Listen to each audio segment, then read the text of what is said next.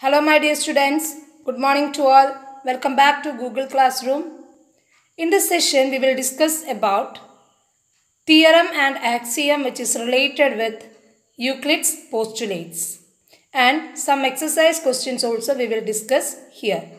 Okay, so we can start our today's session now. In the last session, we already discussed about Euclid's five postulates. So today we will discuss an axiom which is related with Euclid's first postulate. What is Euclid's first postulate? A straight line may be drawn from any one point to any other point. Okay, a straight line may be drawn from any one point to any other point. This is the postulate 1. So about this there is an axiom that we will study now. Given two distinct points, there is a unique line that passes through them. Given two distinct points, there is a unique line that passes through them. That means, in the figure, there are two points P and Q. Through P only, we can draw infinitely many lines.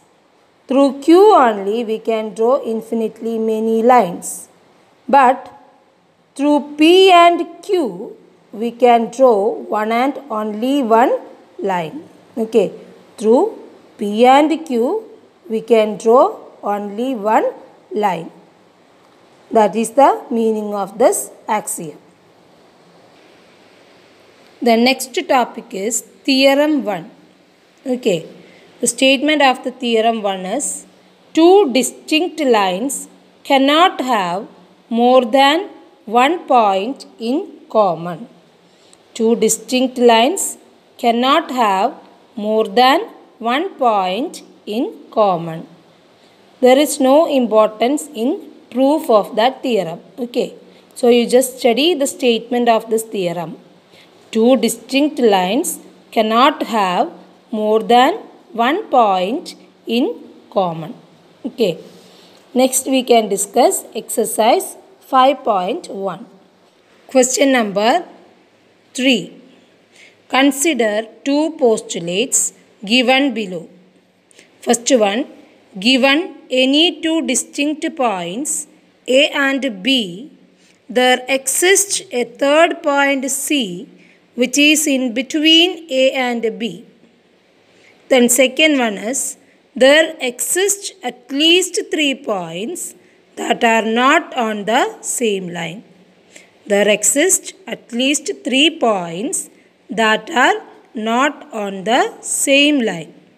Do these postulates contain any undefined terms? Are these postulates consistent? Do they follow from Euclid's postulates? Explain. So these are the questions. Do the given postulates contain any undefined terms? Are these postulates consistent?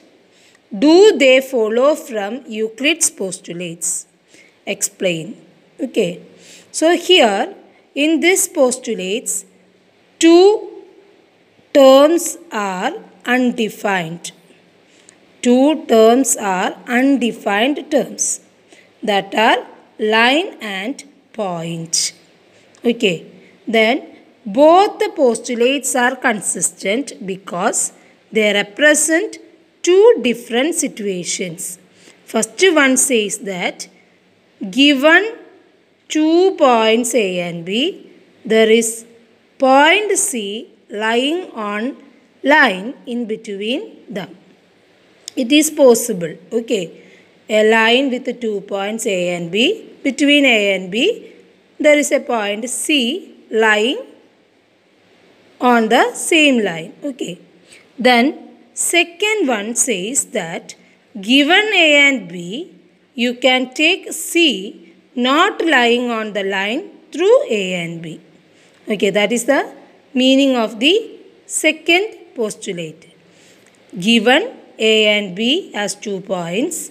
Then you can take C not lying on the line through A and B. Okay. So these two postulates are consistent because they represent two different situations. Now the third question is are these sorry do they follow from Euclid's postulates?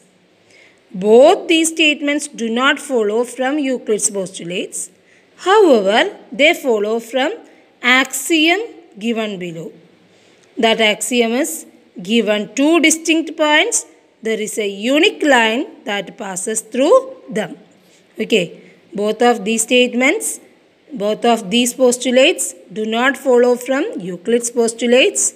However, they follow from the axiom. That axiom is given two distinct points, there is a unique line that passes through them. Okay. Now the next question is question number 4. If a point C lies between two points A and B such that AC equal BC, then prove that AC equal half of AB. Explain by drawing the figure. So here in the question it is given that there is a point C lies between A and B. So we can draw a line segment AB and mark a point C such that AC equal BC. Okay, so now it is given AC and BC are equal. Then what we need to prove? AC equal half AB that we need to prove.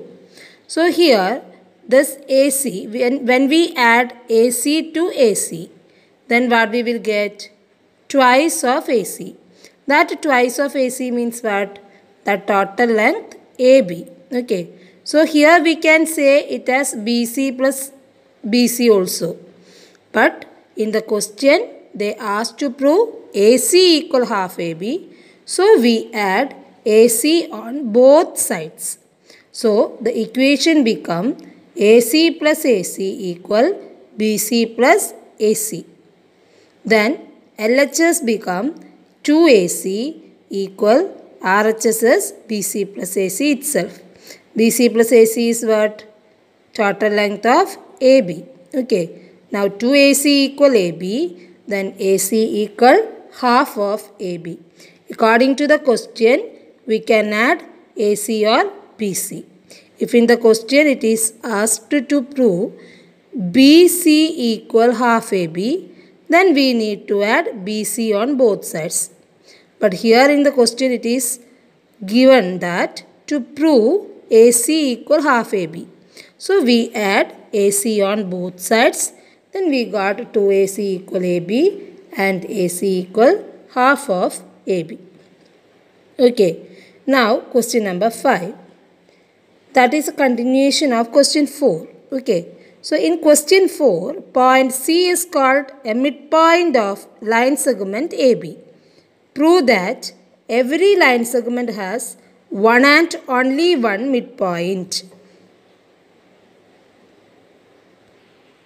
So here let us assume that there are two different midpoints C and D of a line segment AB we assume that C and D are the midpoints. Okay. Because we need to prove that every line segment has one and only one midpoint. So, when we take it as 2 or that means more than one midpoints, then we can start this proof. Okay. So, here we assume that there are two different midpoints C and D of a line segment AB. Okay. Then if C is the midpoint of line segment AB, then we can write AC equal half AB. AC equal half AB, that means twice of AC equal AB. Okay, then if D is the midpoint, then what we can write? AD equal half AB, then AB equal 2AD. First we got AB equal 2AC, now we got AB equal 2AD. So from 1 and 2 what we get? AC and AD are equal. AB equal to AC, AB equal to AD. That means 2AC equal to AD. So AC equal AD. Okay. So from the axiom, the things which are double of the same things are equal to one another. According to that axiom, we got 2AC equal to AD, then AC and AD are also be equal. Okay. So this is possible only when both the points C and D coincide. AC and AD are equal means C and D, that two points should be coincide. Okay. That means C and D are not two different points. Not two different points. Hence, our assumption is contradicting with axiom. First, we took C and D are as two points which are the midpoints. Now, we got C and D are not two different points. That means there is a contradiction about our assumption. So, our assumption is wrong and so every line segment has one and only one midpoint. Our assumption is wrong. So, we can conclude that every line segment has one and only one midpoint. Hence, proved. That's all for today. Thank you and have a nice day.